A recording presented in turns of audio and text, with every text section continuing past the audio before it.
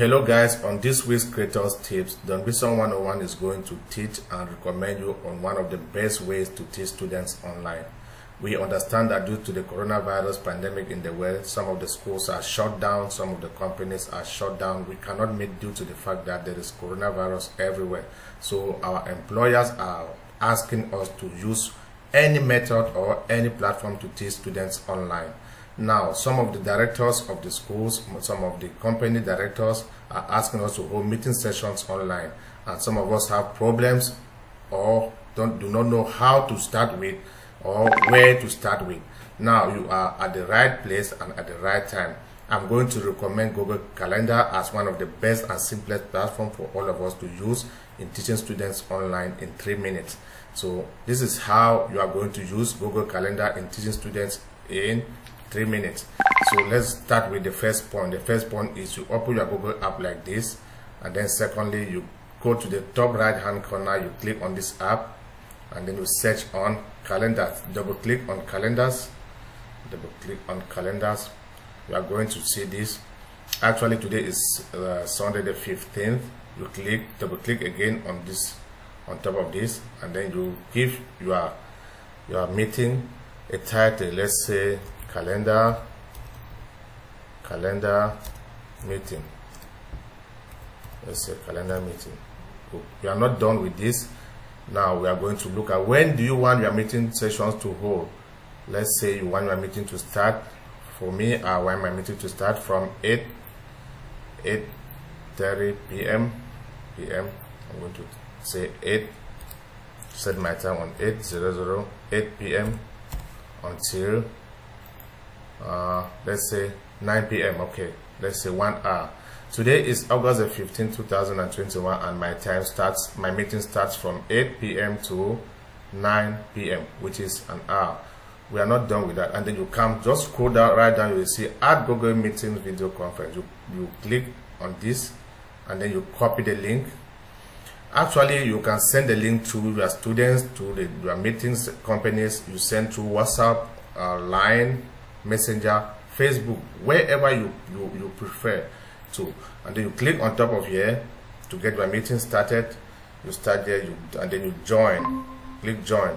Now the link you with me i'm going to use line to send to my students. Then you you you copy you have copied you paste here on their line group and then you send to them. Now when they receive this they are going to come online when they come online as you can see we are waiting for the students. Maybe the students are going to join although we don't have a class today. Sorry students. We have, i'm very sorry. I'm just doing a youtube video. Actually we don't have a class today so anyway let's expect since they are good students maybe they will come. Normally the students are supposed to have email. Yeah one of the students we have tanya log is here. Tanya log welcome hello see look at my students are coming online although we don't have a class today. Students i'm very sorry because we don't have a class but i'm doing a youtube video. Thank you all for joining. Tanjalok, how are you? Everybody how are you today? So as you can see students are joining my class already because they have uh, their email addresses.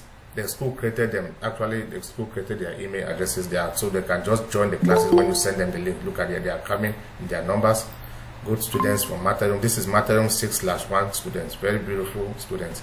Now, if I want to teach anything, you go right in the middle of this place to present anything. You click here, and then you go to the second option which says, you can actually use the first one, your entire screen, a window, a tab, a tab, and then you click on this. I normally like to use the second one, and then you choose what you want to present, and then you project on your projector like this this is what you are seeing on my projector you go now to see the actual faces of the students you click ignore. Now you see on the top right hand corner my students are here and then here this is my lesson. So if i want to the students are actually seeing. Hello everyone can you hear me? Supasa supasa are you seeing me? Tanya Lok, how are you? Paneda how are you?